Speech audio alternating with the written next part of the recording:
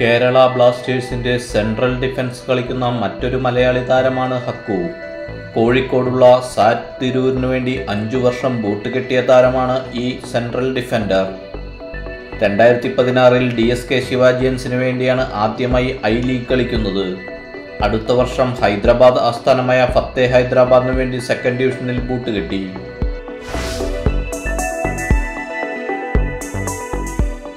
രണ്ടായിരത്തി പതിനേഴിൽ north east united F C Abdul ഹക്കുവിനെ തങ്ങളുടെ ഐ എസ് എൽ സ്ക്വാഡിലേക്ക് തിരഞ്ഞെടുത്തു.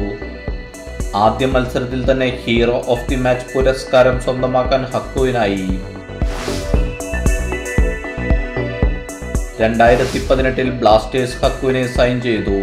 ആ വർഷം അധികം അവസരങ്ങൾ ലഭിച്ചിരുന്നില്ലെങ്കിലും രണ്ടായിരത്തി പതിനെട്ട് ഐ എസ് എല്ലിൽ ഹക്കു ബ്ലാസ്റ്റേഴ്സിന്റെ പല മത്സരങ്ങളിലും സ്റ്റാർട്ടിംഗ് ഇലവനിൽ സ്ഥാനം കണ്ടെത്തി. ഇപ്പോൾ രണ്ടായിരത്തി ഇരുപത്തി മൂന്ന് വരെ താരത്തിന്റെ കോൺട്രാക്ട് ക്ലബ് പുതുക്കിയിരിക്കുകയാണ്.